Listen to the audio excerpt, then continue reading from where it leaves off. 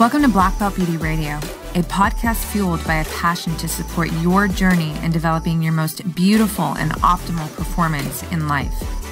Each episode is driven with the intention to elevate your mind. When we elevate our mind, we elevate our life. So get ready. It's time to rise. Hey, what's up, you guys? Welcome back to another episode of Black Belt Beauty Radio.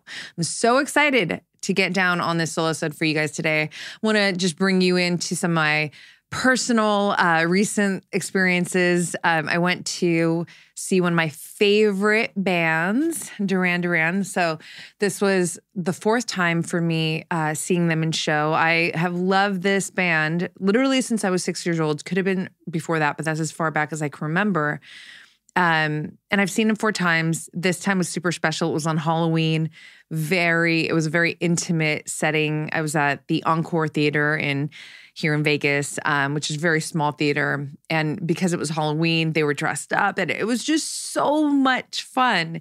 Um, you know, aside from just wanting to just share parts of my life and connect with you in that way, uh, there is something deeper about this experience that you know I gave to myself that I want to share with you. I want to tease out the deeper parts of it because I I believe that this will be supportive to you or at the very least be fun for you to take in. So I put up an Instagram post around my night with Duran Duran. I rocked a hot fuchsia bob wig and I fucking love it and I probably should have worn it, but I'm I'm rocking my my wild hair for this one. Um, but I will. I will put on the wig soon. Surprise you. Um, but so in this Instagram post, I'm going to read you the caption because it's going to set the the tone and the framework for this episode. You know why I really want to share this with you. So the caption says, "A night with my love for Duran Duran, but." This post was created for all my girls here who feel your heart calling you towards an experience, but you find yourself overthinking on going for it. And by the way, you know, I know that not just women listen to the podcast. So this is definitely not just for the women in my community, it's for all of you. All of you who feel your heart calling you to do something, um, to go for something but I'm going to carry on with this um, caption now. But you know, you're overthinking it. I'm inviting you to live your heart's directive and to go for it. Don't wait for the perfect conditions. You are the perfect condition when you trust your decisions and act from your heart map. You can't make a wrong move when it's a true move. That's such a fucking epic sentence. I'm going to come back to that one. I'm going to repeat it though. You can't make a wrong move when it's a true move. Those are the only moves that your heart whispers to you. Listen closely, trust it. Don't wait for someone to do it, whatever it is, with you to experience it. When you live from a true state of wholeness, independence is not only a master key to unlock all experiences that have you thriving from your authentic self, but it liberates you to move in harmony with yourself. You are never alone, you are always with yourself. Big difference. Don't wait for permission to live your fucking love out. This is no dress rehearsal. This is your unique opportunity to express your highest self, potential, heart, and soul. I'm inviting you with my entire heart to think about this. The more you say yes to what your heart is directing you towards, the more you gain the experiences that are going to encourage your ultimate magnetic and opulent expression to come alive and to give you the internal gems that have you thriving from within and out. And that's true opulence, right? 300 fucking 60 degrees of thriving to say I had the best time taking myself on a Halloween date with Duran Duran, 38 years of loving them, is a massive understatement. It's so much deeper than that. I won't just look back at this memory with one of my favorite bands ever having the time of my life. I'll be looking back with love and pride for continually saying yes to my heart. And I want that for you too. So drop in and listen to her. You're worth it.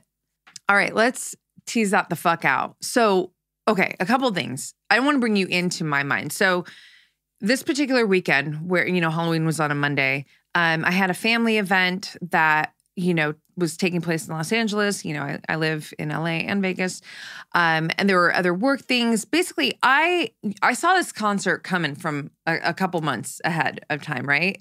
And I also knew that this family event was right before it. I also saw a lot of work stuff around it, and I was like, shit, how am I going to make this all work? And so, low key in the back of my head, I start trying to figure it out, right? I mean, this is weeks ahead of time. You know, am I going to drive? Am I going to fly? Am I going to do I move this? Am I going to not go there? And so without taking you through that entire process, I'll just keep it simple and say that, you know, I found myself in overdrive in terms of thinking about this.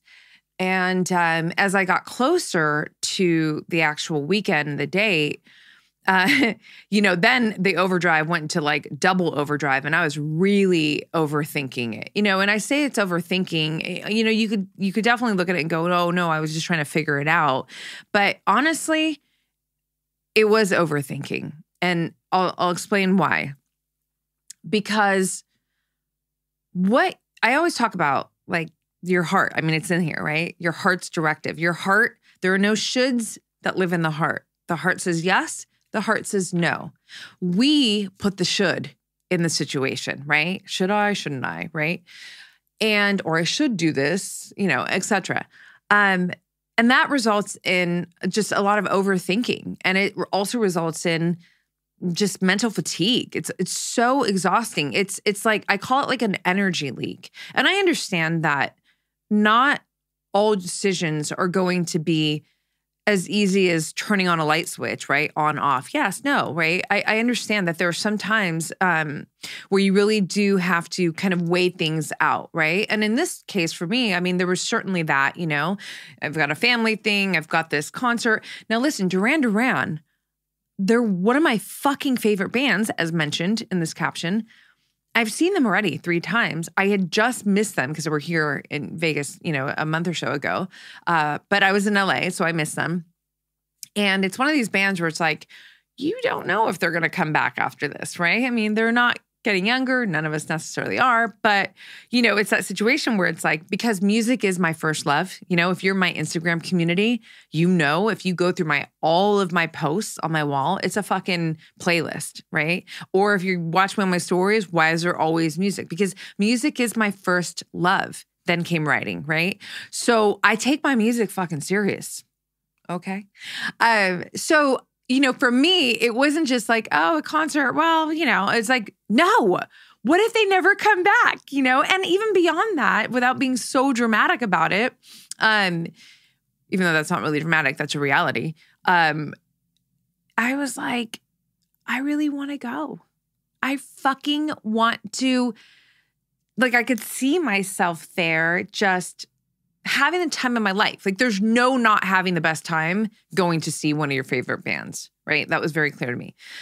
So literally it was, you know, it was uh it was a Thursday where I'm on my morning walk and after meditation, conversation with my muse, highest self, future self, soulmate, ride or die. For those of you who are not yet familiar with who my highest self, my ride or die, my muse is, um, you'll definitely, you know, get to know more of this about me because I talk about her frequently in our relationship. I've built a digital course around, you know, embodying, connecting with this highest frequency of you, but we'll save that for another time.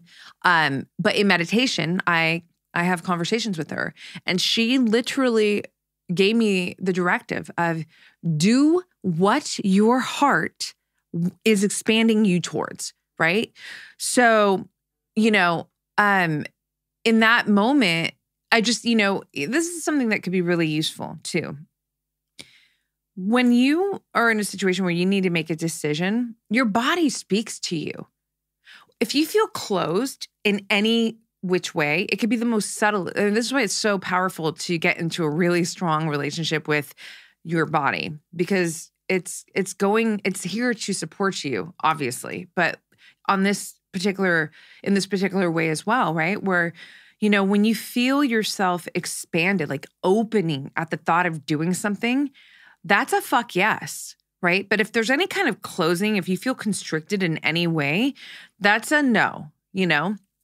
And so for me, I get the message from my muse, hey, go where your heart is expanding you towards. Like, just do the thing, right? And that just felt like a fuck yes to me. So I go on my walk and um, I just, I, I made it all happen. I was like, fuck it. You know what?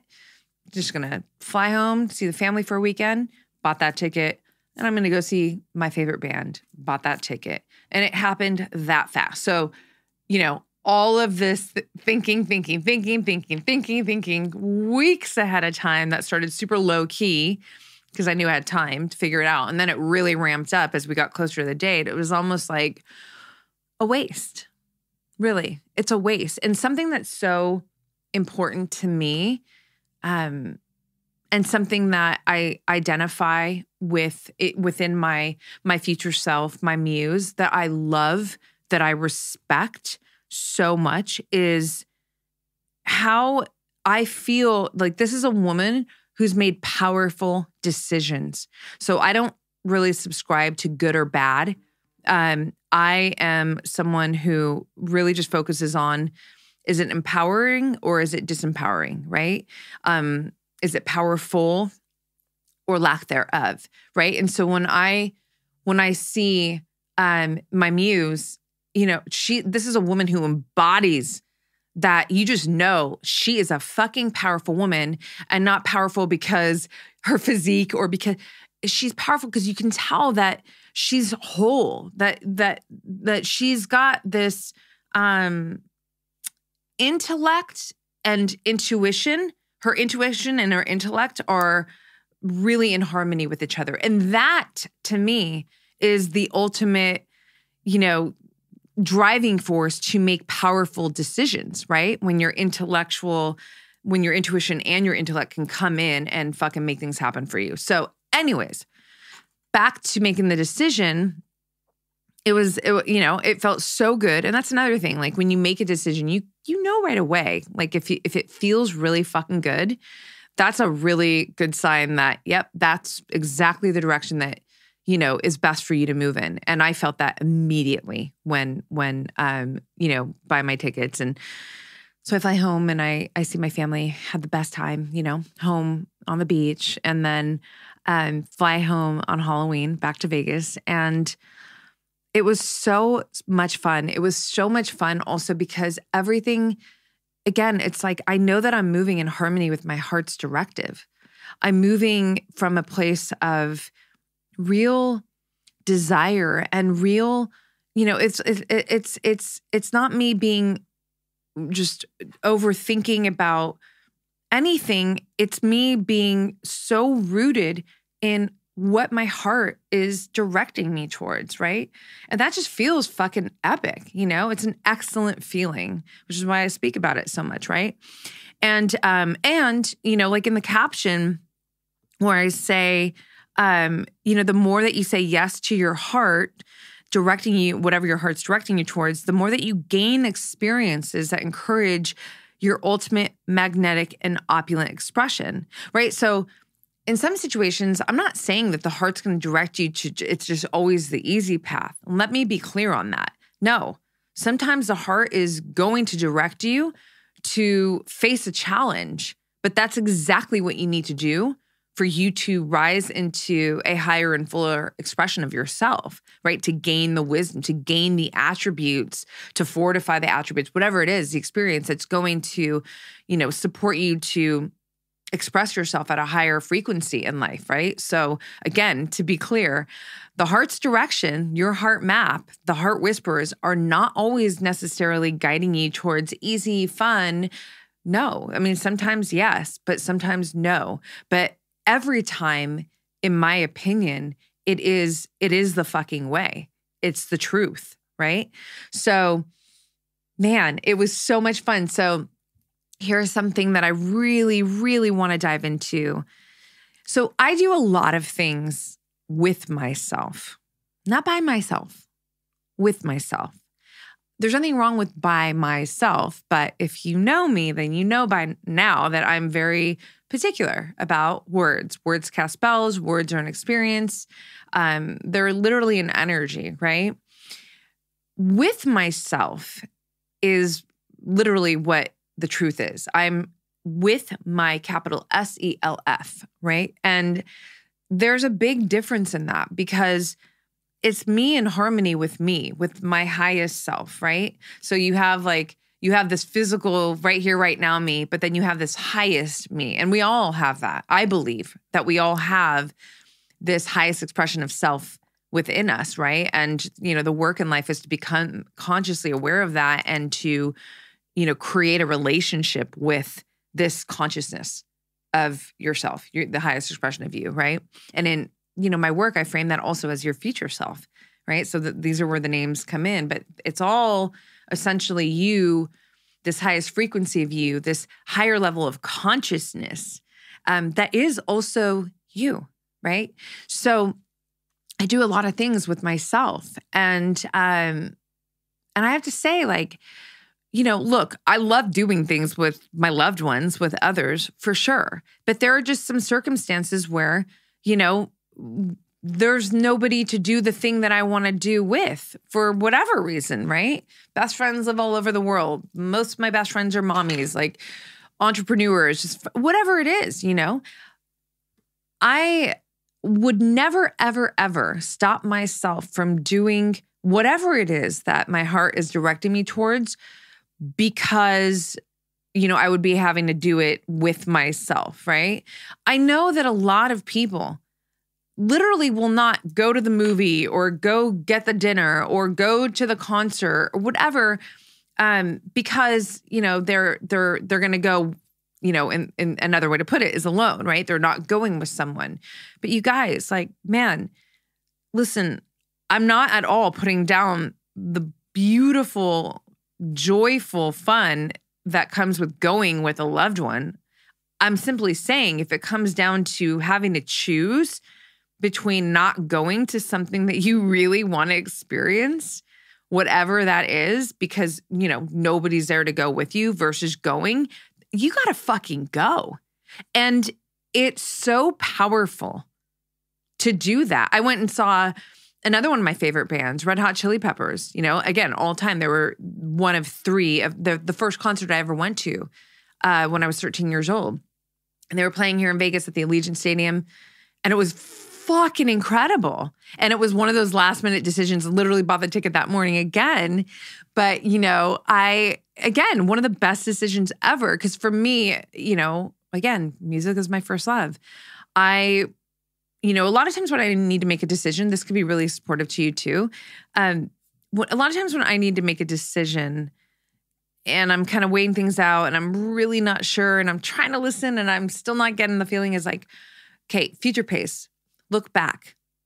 If you can look back and literally not be bothered by not doing the thing, then maybe it's not necessarily that important to do. But in the case of like going to see the Chili Peppers, I was, you know, thinking about, I was like, oh, fuck no. There's no way I'm not gonna, you know, like if I look back and be like, oh, you know, uh, no, I would not want to miss them. And I'm sure they've, I mean, they just recorded what, two more albums or something. They're going to keep going, but it's not the point, right? And the point, again, around going with yourself and versus not because nobody's with you, the point is to realize that you are in a relationship with yourself. And this is your one fucking life. That's what I say in the caption. This is no dress rehearsal.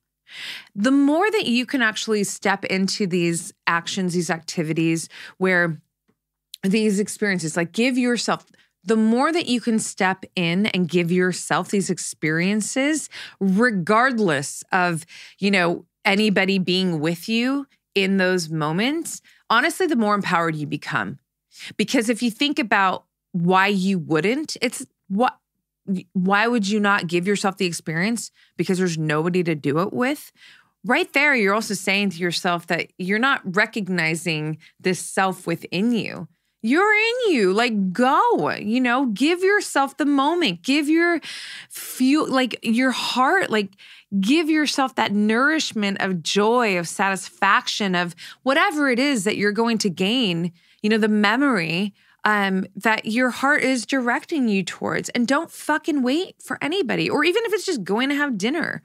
You know, you want to go have dinner and oh, but there's nobody to go with, but you really want that steak or whatever it is, you know? Um, fucking take yourself to dinner because you are with you. That was that was really really huge for me to share, you know, in this caption, but specifically in this podcast where I can really, you know, uh, go on a tear about it because I know, I know that there there's a larger tendency for people to hold back and to not do the thing that they want to do because they don't have somebody to do it with. But I'm inviting you to realize that you do have somebody to fucking do it with yourself. And the more that you do these things, the more that you take action and get into these activities with yourself, the more that you're actually fortifying this powerful relationship with yourself, right? You're acknowledging that you're in you and you you are on your team and you you and you are here doing this thing called life together in partnership and that's fucking powerful and so much fun. One thing that I do want to talk about too is um this piece right here don't wait for the perfect conditions. You are the perfect condition. When you trust your decisions and act from your heart map, you can't make a wrong move when it's a true move. And those are the only moves that your heart whispers to you. Listen closely and trust it. For sure, some pieces of that are going into my poetry book, Magnetic Feminine, that will be coming out next year. Um, you know, as a writer, I just get so much fulfillment and satisfaction from crispy little sentences like that that really drive a message home. You can't make a wrong move when it's a true move. What do I always say? Your heart is the truth. Your heart is where your intuition lives. Your heart is, you know, where you are most connected with this, you know, universal, the universe, right? Spirit, source, whatever you want to call it, right? Um, and also, you know, in Uh, more of a connection and a deeper connection with your highest self. There's never going to be a wrong move directed from this place, this your heart, right? And again, if a challenge if a challenge is presented, don't do not mistake that as a wrong move.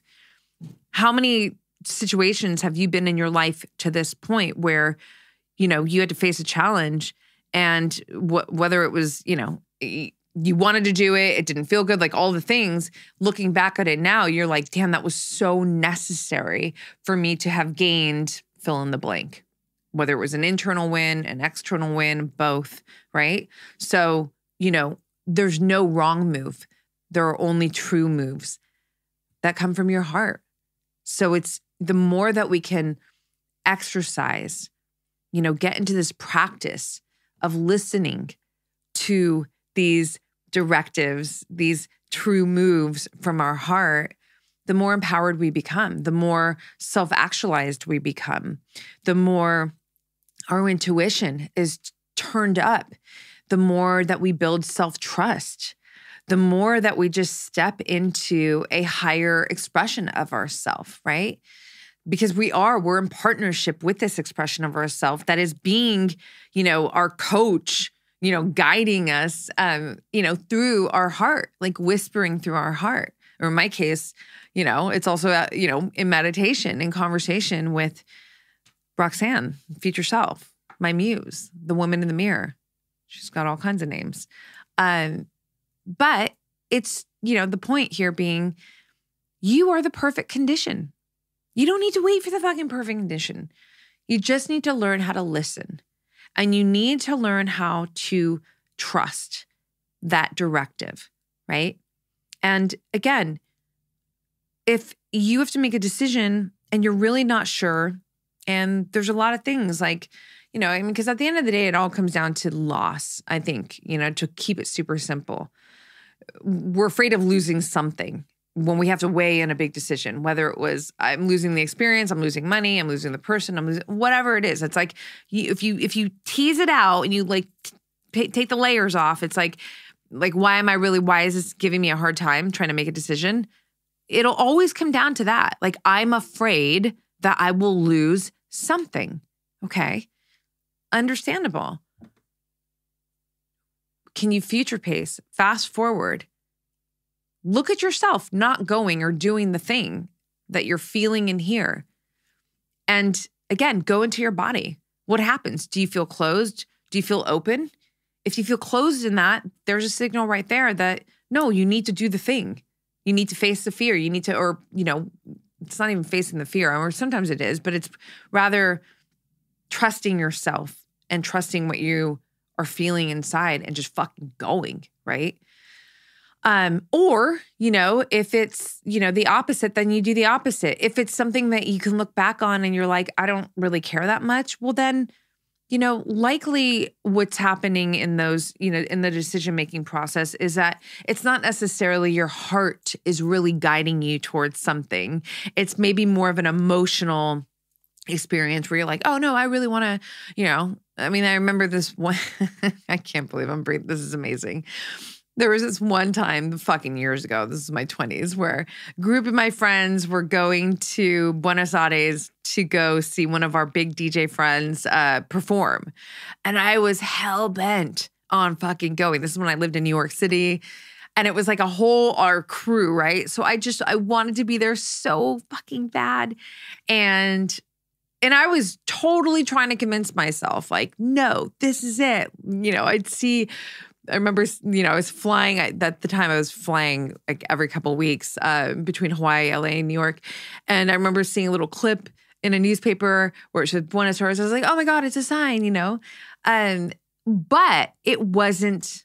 It wasn't for me. And this is where, when I say look back, or if you can like future pace, and then, you know, try and look back and see how you feel that was one of the most standout moments for me or experiences to, to, that that solidifies what I'm saying like this offering this tactic right? Because when it got down to the point of you know am I going to go? Am I going to try and am I going to get scrappy and figure out a way to get there? I did that. I did exactly what I'm sharing with you. And I did the look back and I'm like as much as I want to go it's actually not that important to me.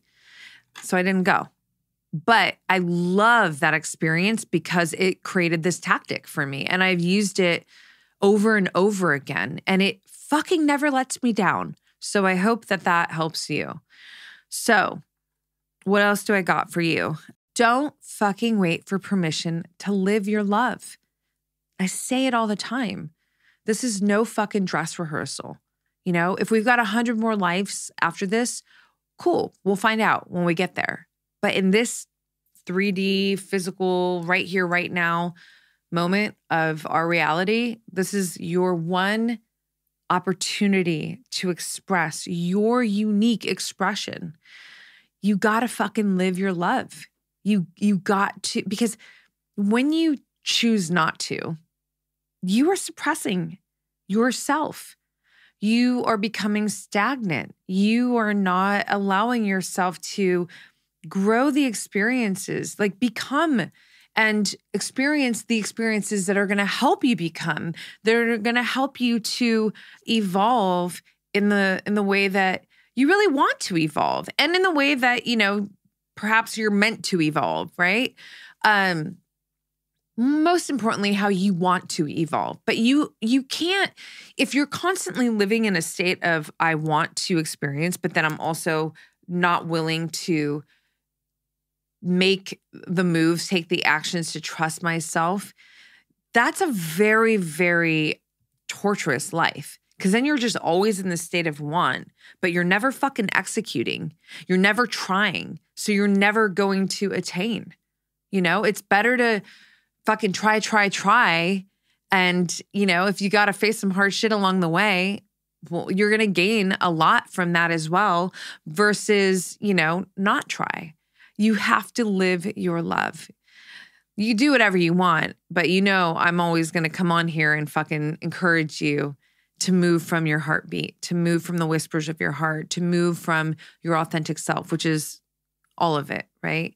Because I don't believe that there's any fucking losing when you are living from your authentic self, when you are listening to your heart's directive, moving from your heart map and allowing yourself to experience your fucking life, create your life from your heart map.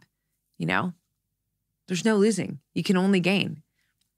Doesn't matter if you got to take a punch along the way, you know, and I'm never talking about the physical, right? I'm talking about like, you know, whatever, just like life battles and shit. But, you know, we, that's how, you know, we get stronger. That's how we develop ourselves in, in powerful ways. So, you know, it's a gamble, yeah, but betting on yourself is the best fucking gamble that, you know, gambling game that you could ever play, right? So, yeah, that was a big one. I could go on and on, honestly, about this one. I'm so lit still, just, you know, driving here, listening to fucking Duran Duran on blast. But again, you know, how I close this caption, it's not just me going to see my favorite band or one of my favorite bands. Um, it was me saying yes. Yes to something that I really wanted to experience. Um, yes to me doing whatever was necessary to make it happen. And yes to me always just fucking like saying to my heart, I trust you. We're in this together.